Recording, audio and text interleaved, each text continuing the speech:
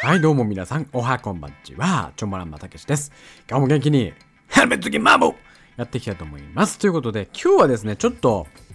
まあ、ちょっと試合動画とか逆にちょっとなしで、ちょっとゆったりと、おしゃべりだけ、おしゃべりだけ。まあ、喋るってもただ、くっちゃべるだけじゃなくてね、いや、ちょっとリクエスト来てて、あのチョモさんのバッシュ見せてくださいみたいなリクエストが来たんで、まあ確かに今までなんかまとめて、まあバッシュっていうか、2K モバイルだとバッシュのことギアって言うんですけど、ちょっとまとめて見せたことないんで、まあこの機会に、まあイベントとかももう終わったんでね、はい。まあ、イベントとかも終わったので、まあこの機会にちょっと見せていこうかなと。じゃあ私のシーズン1からやってるガチ勢の、廃課金勢の 2K モバイルに20万ぶっ込んだ男。じゃあ、ちょっと見せますか？いいきますよ。いきまーす。ドドンと。はい。ババッとこんな感じですね。レジェンダリーは17個持ってます。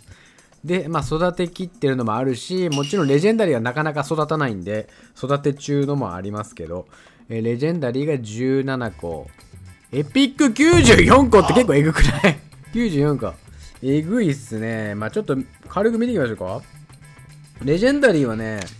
やばいんですよ。メーターが、まあ基本的に5個。まあ、エピックも5個だっけ？エピックも5個で、レジェンダリーとじゃあエピックの違いって何のかっていうと、俺もなんか聞かれるとね、いまいちわかんないんだけど、で、まあレジェンダリーね、メーターがどうなんだろう？いいのかな？レジェンダリーのがチョイスが。まあ、ちょっとわかんないけど、ただ制限が、レジェンダリーの場合は、これシューティングガードって言って、シューティングガードでしかつけられない制限と、あと、えっ、と、こういうふうにロサンゼルス・レイカーズ。あちなみにこの選手カードのアイコンが出てるのは今装備してるからですね。今装備してる選手の顔が写真が出てます。はい。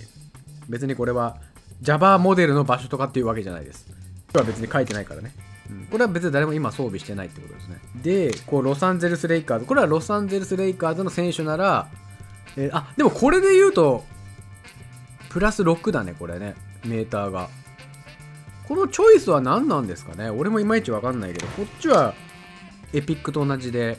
全部で5個じゃないですか、プラスが。レジェンダリー、こっちは6。あ、わかった。LA とかユニフォーム縛りの、チーム縛りの方はプラス6で、レジェンダリーだけど、ほら、こっちはプラス6でしょ。あ、その、これその違いが今気づいた、なんか改めて見て。ポイントガードとか、ポジション縛りのはエピックと変わらない、プラス5とかなんだ。だからユニフォームが出た方が実は、実はラッキーなのか。プラス的には。ただ、ユニフォームだとね、ちょっとね、まあ、LA とかだったらまだいいんだけど、ホーネッツとかだと、まあ、もうラメロぐらいしかつける選手いないんですよね、正直。あと、サクラメントキングスとかも今、今、あの、セスカリにつけてるけど、キングスとかもそんな選手いないので、意外とポジションの方が良かったりもするんですけど、という感じですね、17。で、これをどうやって育てるんですかみたいな方法が聞かれるんですけど、基本的には試合、このバッシュを装備して、例えば、レブロンとかで見ると、で、こうギア装備してるやつをこう見ると、この GP ってのがね、書いてあると思うんですよね。GP。これギアポイントの略で、あの、これ試合終わると、いつもなんか気づいた人はいると思うんですけど、なんか30とかさ、40とかさ、なんかプラスでされるじゃないですか。それですね。それを6000まで貯めると、このギアが解放されます。これとか今、もうちょっと、もうちょっと、全然まだもうちょっとじゃないけど、今3000分の723とかゲットしてて、まあこれはね、普通に試合もやるしかない。あの、シミュレートじゃダメで、普通にヘッドトゥーヘッドでも普通のトーナメントでもイベントの試合でも何でもいいんですけどあと,、えー、とドリルはダメ。ドリルはダメだけどあの普通の試合やってればあのたまります。まあ毎回30とかぐらいだけどたたたまにあとアビリティでたまにこのギアが早くたまるアビリティのやつもいいですよね。あこれだ。ギアマスターってアビリティでたまにこういう風にねギアのポイントが多く獲得できるっていう選手がたまにいたりするんですけどでもこれってまあいいんだけど、それ以外使い道がないっていうね、ギアが満タンになっちゃったら意味ないんで、まあでも、まあこういうアビリティを持ってる人もいるんで、そういう選手に装備すると、まあギアポイントがね、溜まりやすくなったりっていうのもあったりするんですけど、まあ基本的に、あの、まあ試合やったりして、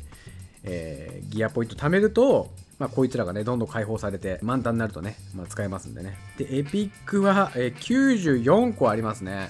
でエピック今までねやっぱメンター持っていく時とかもね結構もったいなくてね使ってなかったんだけどまあ改めて俺もこんな持ってると思わなかった40個ぐらいかなと思ってたけど、まあ、もうもうバンバン使ってもいいのかねエピックもねメンターあの高級なメンターにするやつだったよね普通のルビーとかさ作ってるやつだったらルビーとかオニキスのメンターだったらダメかもしれないけどまあ、ダークマター以上ぐらいの今度今後メンター作るときはまあもちろんまあこれもねもちろん縛りがあってあの制限でねまあそのユニフォーム縛りがあるんですけどまあ多く持ってるユニフォームの縛りとかあこれサボリスとかレベルアップできてるじゃん。これたまにねこれ忘れちゃうんでねレベルアップ。レベルアップ。忘れちゃうんでねこ,、まあ、ここで見ると楽だね改めてこう見るとまあここのページもねあんま僕も使わないんですけど改めて見るとあ今誰つけてんだっけってこれ外すこともできますからねうんまあ結構エピックはね結構出るエピックは結構出ますね。まあ結構全然育てられてないね。半分以上育ってないね。でエピックね、出るのはいいんだけど、もう追いつかないんだよね、育てるのが。で、ギアポイントももう3000とか普通に6000とかじゃないですか。通にだってあれだよね。こっちも6000とかだな。まあこれもうちょっと溜まるけど。結構時間かかるよね。うん、で、レアは161個。レアはまあちょこちょこあのメンターにするときとか多少食わせたりしてるんですけど、こちょでもメンター結構ね、あの育ってますね。育てられても追いついてますね。うん、もう結構、まあちょこ、まあちょこちょこちょこまだあるけど。で、アンコモンは、うん、適当ですね。まあ、この辺もまあメンターに食わせたりしてるし、感じかな。で、コモンか。コモンはね、普通にもう捨ててます。もう育てもしない。育てもしないですし、普通に。待って、挑んできたんだけど。待って、挑んできたんだけど。超村たけしの LBATV。ですね。まあ、こんな感じですね。で、レジェンダリーもしかしたらなんでそんな17個も持ってんのっていう人がいると思うんですけど、まあもちろんシーズン4からこれは引き続きやってたりもするんで、僕の場合はね。ですけど、で、今回ちなみにまあこ、これでトーナファイナルトーナメントでゲットしたりとか、あと俺が、こっちのガチャでは本当に多分、まだ、言うても確率がもう、えぐいじゃないですか。1%とかで100回引いて1個しか出ないから、ガチャでゲットしたのって、こっちの多分3個ぐらいなんですよ、レジェンダリー、未だに。他じゃあ何でゲットしてるかっていうと、まあ今ちょっとイベント来てるんですけど、このランク報酬ですね。まあ今回もゲットできそうですけど、まあ、ランク2以上、ランク1はね、そこもそんなにないけど、ランク2は結構たまに、1ヶ月に1個は絶対ゲットできてると思うんですよ、今までの流れで言うと俺。だから1ヶ月に1個は、で下手し、1ヶ月に2個ゲットできてる月もあると思うんで、下手したら3個とかの月もあるかもしれないけど、まあそういう風に結構レジェンダリーも月に2個ぐらいのペースでゲットできてるので、まあそれで今まで10個ぐらいはね、ゲットしてるかもしれないね、レジェンダリー。でガチャ分とかあとさ、またまにレジェンダリーがもらえるこういう今飛びつけるこういうトーナメントが来たりしてだ基本なんかエピックは課金とかは関係ないのでやってればゲットできるっていう感じなんでね皆さんももうコツコツコツはね ダジャレじゃないけどコツはコツコツやるしかないですレジェンダリーをレジェンダリーとかエピックをゲットするにはでイベントとかもさガチるとエリートギアとか、だからエリートギアとかもヘッドトゥヘッドとかやるともらえるんで、まあそういうのでコツコツ貯めて、まあ、エピックは結構出るから、あのガチャで。こっちのエリート、エリートガチャでさ。今24%なんで普通に4回に1回ぐらい出る計算なので、普通にじゃんじゃんガチャでね、普通に5連ぐらいしたら、まあ、1回は出るようなもんなんでね。うん、だからもっとコツコツ貯めるしかないですね。コツコツ貯めていけば、ああいう風にね、もうエピックも、もうメンターに食わして、もう今度からね、もうもうちょっと上級のメンターにするときはエピックもどんどん食わして、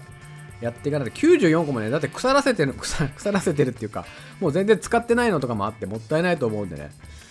もう俺もそうしよっかな、今度からね。うん。ギアもね。まあちょっとレジェンダリーはさすがにちょっと食わせないけど、確かにでもこういう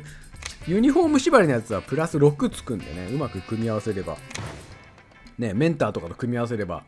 ね、4つとか5つとかあのマックスのやつが付けられたりもするんでね。まあ、まあ、どうやってそんなに集めるんですかっていう質問もあるかもしれないんですけど、本当にコツコツずっとやってきた結果です。課金とかはそんな関係ない。うん、レジェンダリーを多くゲットしたのは課金まあ課金関係ないっていうか、まあ、僕の場合はもう毎月このコートサイドプレミアムを買ってるのであのランランカーに入りやすいんですよね。あのランクに。こっちのランクに。やっぱりこのランクを目指すとなると、まあ、感想はね無課金でもできると思うんですけどじゃあいざここのランク3以上特にまあ2位とか2位とかまあ、ワンチャン無課金でもガチって言ったらランク3ぐらいはギリギリ入れるかもしれないですけど、ランク2以上とかになるともう、さすがにコートサイドパス、まあ僕も今回別に、あの、ダブラーとか特別に追加で買ったりはしてないです。エネルギーも追加で買ってないですけど、このコートサイドプレミアムを買うと、ここに書いてある通り、あのイベントエネルギーがその買った月はですね、えー、チャージスピードがプラス20%つくんですよね。でこれがやっぱりガチ勢と無課金税の差で、まあ、ランクに入れるかどうかっていうのが大きな差なんですよね。その結局、このランク2以上とかの人は絶対このコートサイドパスプレミアムを買ってる人なので、まあ、そういう争いになってくるっていうことですかね。うん。はい。まあ、そんな感じで。はい。まあ、でもね、あのー、まあ別に、まあ、まあ本当に 2K モバイルが面白くてガチりたいっていうんだったら、まあこれだけは買っといた方がいいかなと思うよね。ポートサイドプレミアムだけは。まあ最後のね、このもらえるね、ギャラオパとかそのその時の一番最高ティアの選手が、まあイベントの選手と同じパワーぐらいのやつがもらえるわけじゃないですか、確定で。まあそれだけでも全然いいですけど、普通に2000コインまずもらえるし、だから普通にガチャでさ、普通にガチャでさ、コイン、コイン買うのと同等ぐらいの価値じゃないですか、大体。大体1500円ぐらいでね、1500円ぐらいで、えー、2000 2005円買えるわけで、しかもね、今回で言うと、PQ のプラズマコートのヤオミンがもらえるわけだし、しかもイベントエネルギーがプラス20%っていうのが、これ、こういうのが、で、得点でかいですだから、ここでもらえる報酬とか別に俺どうでもよくて、どうでもよくて、ここでもらえる、トパーズがもうどうでもいいじゃないですか、正直。トパーズがどうでもいいんだけど、まあ、だから、買うメリットは2000コインと最後のまあ、今回で言うとヤオミン PQ がゲットできるのと、あとイベントエネルギーがね、やっぱプラス20%で、これでランク3とかで入りやすくなりますんでね。うん。まあどうしても、通勤モバイルに、まあ月1600円ぐらいの課金だったらいいよっていう方は、まあ、コートサイドパスプレミアムはおすすめですね。あの、下手にコインとか買うよりかは、1600円の月、1600円の課金で楽しみたいっていうんだったら、あの、コインじゃなくて、あのコートサイドパス買った方がいいです。それが一番お得です。だって確定で、確定じゃあ1600円の課金で確定で PQ のテーマカードを確定でゲットできるガチャなんて存在しないから、うん、これは絶対買っといた方がいいわけで、はい。まあ、そんな感じですかね。このイベントチャージも俺200個ぐらい持ってんすけど、これも意外と使わないんでね。特に普通のチャージとか全然使わないから、まあ、これもコツコツ貯めてきた積み重ねですね。これも、これは毎日、ね、あの無料の、無料で1回、1日何回、4、5回引けるガチャ来るじゃないですか、時間が経てば。4、5回は嘘か。まあ、3、4回 ?3、4回ぐらい、時間経てば引ける無料のガチャとかで当てた積み重ねですね。これもずっと使ってないから。なかなか使う機会ないんで。で、メンターも、今何体あるメンターが98個。パールパールのザイオンが一番今高いですね。1個だけ。で、ほとんどダークマターとか。ダークマター、ギャラオパ。ギャラオパが多いね。あと PD か。PD も多い。ダイヤとか。はい。まあ、こんだけ。ま、ダイヤとか。で、ルビーはね、あのー、メンターって、食わせると、選手に食わせると、ちょっといい見本ではないけど、例えば、カール・マローンとか PQ をさ、例えば強化しようとするとさ、例えばさ、オブシディアンのじゃあパンプアップとか食わせても、こんぐらいしか上がんないわけですよ。オブシディアンでさえ。で、PD とかのも食わせてもさ、全然上がんないわけじゃん。こんだけしか上がんないじゃん、パンプアップで。要は選手カードも一緒だよ、これはさ。けどさ、これで一気に、これで一気に45までいくわけですよ。しかも、ルビーのレベル100にするのとかめちゃめちゃ簡単なんですよね。で、メンターとか量産して、だからこれで、僕は経験値爆弾って呼んでるんですけど、これを。あの、PQ とか高いティア、ほんと PQ とか、まあ今でいうコズジャスぐらいまでの選手を一気に爆上げするときにこれは使いますね。やっぱりそうすると、これだってこれ何個分よ。だってパンプアッププラズマコーツだって、これ満タンにするのにさこの超高級のプラズマクォーツでさ4つぐらいかかるわけですよ。それをたかがルビーのメンターでさ もう1個でいけるわけだからこれはねこれは多分ガチ勢はみんな知ってると思うんですけどこういう風にレベル上げをしてると思いますねルビーのメンターマジめっちゃ簡単に作れます。本当にすぐだってレベル上げの比率が違うんですよね。あの高ティアに高いティアに行けば行くほどだから Ruby とかマジめっちゃ簡単にレベル上げできるんですよ。例えば今、あ、テイタブところも星4でいるから、ちょっと例えばさ、これとかさ、さっきの、さっきのやつとかさ、例えばさ、パンプアップ1個。パンプアップ1個でもうレベル70までいけちゃうわけだけど、さっきパンプアップ4つぐらい食わせてやっと45とかいったじゃん。比率が違うんで、もうダークマターとかもいいかな。ダークマターとかでもこう、適当に5個ぐらい食わせちゃえばもう99、100レベルまで簡単に行くので、まあ今70だけど、まあ今はちょっと食わせないですけど、まあこういう風に簡単に Ruby のメンター作れるんで、まあこれでさ、さっきみたいに一気にレベル20、多分20から25ぐらい、ちょっとね、それ、もしかしたら選手によってちょっと違うんかもしれないけど、メンターのね、あの、20から25ぐらいバーンって上がるわけです。どんなレベルだろうと。だから絶対にちょっとチート、チートな経験値上げ方だと思うんで、あれはね、もしかしたら下手したらもういずれ修正が入るぐらいかもしれないぐらいのチートのレベル上げ方なんで、あの、ぜひ参考これは本当あの知らなかった人は参考にしてみてください。はい。まあ、という感じですね。まあ、ちょっと皆さん、まあ、視聴者リクエストのギア見せてくださいから派生しましたけどね。まあ、そんな感じで、はい、ぜひ、メンターも、まあ、メンターも、メンターとしての使い道じゃなくて、そういう経験値バグナンとしての使い道。だ僕も、もう今後ね、オニキスとかも、下手したらどんどん、もう捨てていくかもしれないね。もうオニキスとかももう、もう、もう今後メンターつけるとしたら、さすがに PD 以上じゃないとメンターつけないと思うんで、はい、そんな感じですかね。お、最後挑んできたんで、じゃあ、バトりますか、最後。最後、じゃあ、最後、バトって、ボコしますか。さあ、バトれるかな バトれるかな、最後。お、マッチングしたあ、俺、スターポパで言ってたな。まあ、いっか。まあ、でも相手13万ぐらいですね。これはボコしましょう。はい。マッチングできひんのかい、おい。